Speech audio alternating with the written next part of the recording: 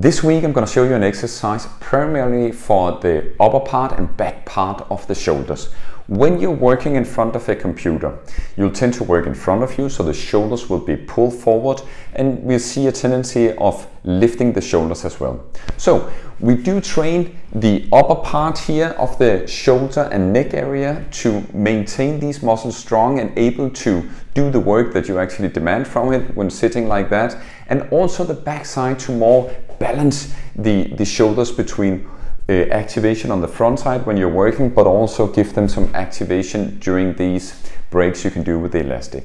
So the way you do it is that you'll grab the elastic, you'll fixate it in the lower fixation point here, and then you will grab the elastic quite far out, and then you'll lift up in a V shape and then out to the side. So up in a V shape and out to the side.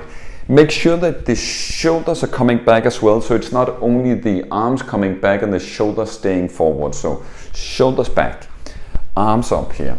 You can alternate between up and out to the side, or you can do uh, first one and then the other one. Try to do approximately 20 repetitions of this one. Enjoy.